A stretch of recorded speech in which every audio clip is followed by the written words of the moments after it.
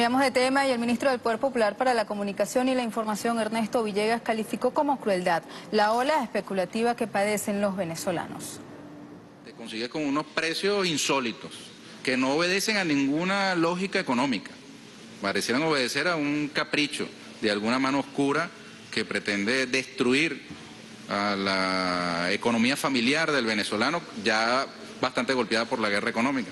Creo que fue Lenin quien dijo, si quieres destruir un país, destruye su moneda. Y es parte de las lecciones que nosotros tenemos que tomar de esa revolución de otras a lo largo de nuestra historia. Vamos hacia la independencia económica, es un clamor de nuestro pueblo, es una exigencia y es inherente a la promesa revolucionaria. no está completa la revolución sin esa independencia económica.